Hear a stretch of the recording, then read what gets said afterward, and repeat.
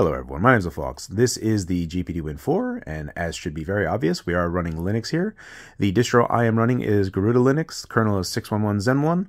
Now I am dual booting here, so it's on the same SSD, it auto partitioned itself, so Windows 11 is also on this SSD as well, and I can kind of show you that later on. Before we get too far here, in this video will be the last of the encrypted characters to join my exclusive Discord channel. If you were looking to join, this video would lead you to the last bit of encrypted characters. Remember, there are 10 characters per Discord link. So it'll be Discord whatever slash those 10 characters. Now the 10 characters that I have embedded in all of my previous videos are encrypted. So you still need to decrypt them and all of that information has already been given out. So good luck to the people that are looking to join. Let's get back to talking about Linux on the GPD-Win4. The good news here is even though, you know, you may run different distros than me, but I didn't do anything in particular to get anything really running. The touchscreen is working as it should because the display presents itself as a landscape. Everything just worked as you would because typically you would have a portrait based screen, then we'd have to rotate it, but none of that is really necessary here, which is great to see.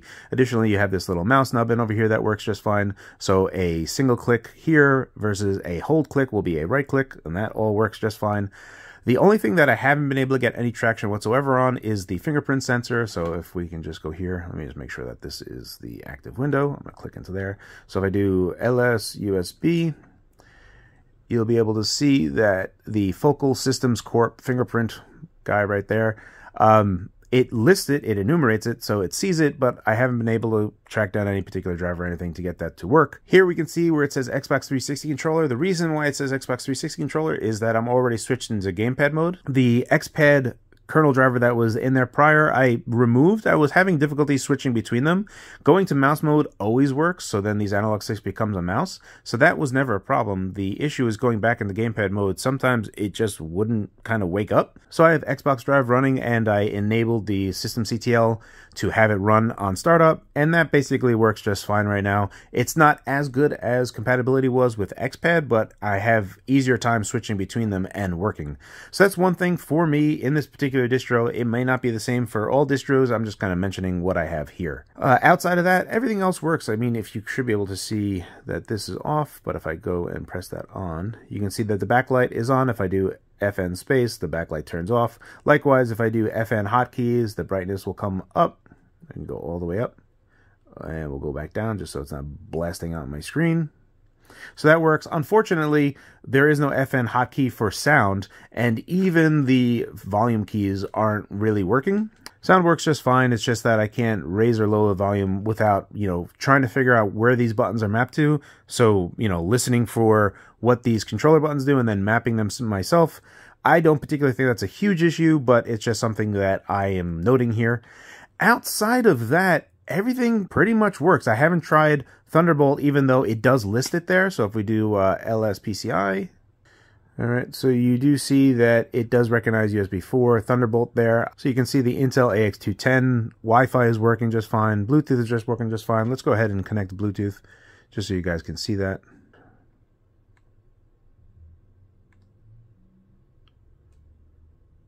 Okay, device wireless controller configured. This should be now solid, and it is. Huzzah! Uh, that's actually easier. All right, so here we can see that this is up, and if I just... So Bluetooth works just fine as you would anticipate it to work. The only thing that you're going to need is if you wanted to control the TDP, you will need to build a Ryzenadj from source. Let me go ahead and close this window. So you can see that I've set TDP to 15 watt right there, and you will have to build Ryzenadj from source. We'll go ahead and click play here. All right, and then in our metrics, we can see all this is running just fine. You see GPU says 11 watt, 12 watt. Now that's just power from GPU, not CPU as well. Obviously, there's 4 watt, 3 watt for CPU and uncore in this particular configuration. Take a look at our battery meter right here, we're running at 27.2 watt.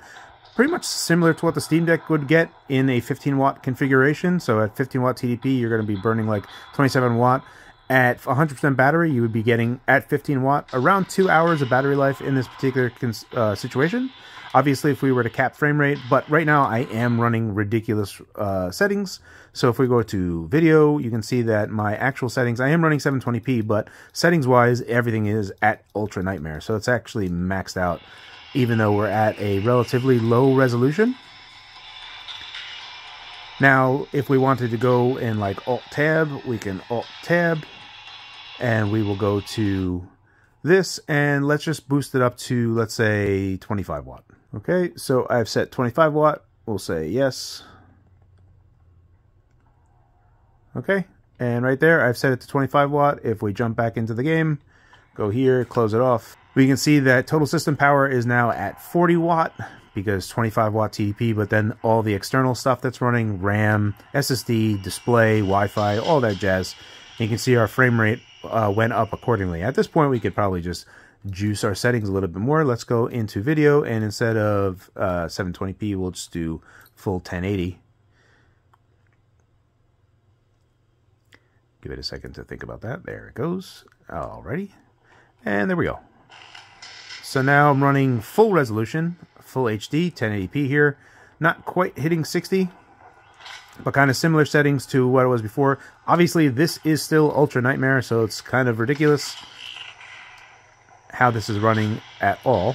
So obviously there's going to be some things that you need to do. You will need to build Ryzenadj from source, but after you do that, you can pretty much do whatever you really want to do. Uh, just be mindful that running at 25 watt, you can see we're running at 25 watt TDP when we're juicing it as much as we are, we're not able to actually achieve 60 FPS at these ridiculous settings. So, you know, we would be pushing max TDP in this area, 25 watt. You can see battery is at an hour right now, but I'm already down to 86%. So it would be around 80 minutes of battery life, 85 minutes of battery life at 25 watt TDP. It is only a 47 watt hour battery. It is a relatively small battery, but it's still 15% greater in capacity than the Steam Deck. So really cool to see. I mean, it's if you were the type of person that wanted to run Linux exclusively, a lot of stuff already works here. The fingerprint sensor seems to be one thing that doesn't work, but I mean, quite literally, I just installed this and then just, you know, installed Steam, did everything else, and everything's just working just fine. Likewise, if we were to go ahead and switch over to mouse mode, this will now work as mouse. Now this is uh, already mapped. Now I've set all the mappings in Windows already with GPD's own tool to actually program the firmware. So you can change these mappings, but they don't have a Linux app for that, so you would have to do that in Windows.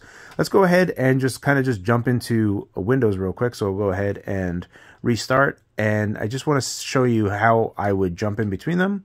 As we're rebooting, I'm just going to keep on pressing the del key, which is the top right keyboard key. All right, and that gets us into the BIOS. And then at this point, you can see where I have uh, save and exit. It's boot override. So you can do Windows Boot Manager, or you can see where it says Garuda by Win SSD.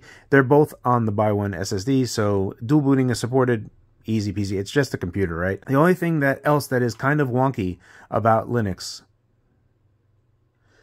let me actually just go here. We'll do CMD. So if we look here, it says the following sleep states are available on the system. Standby S3.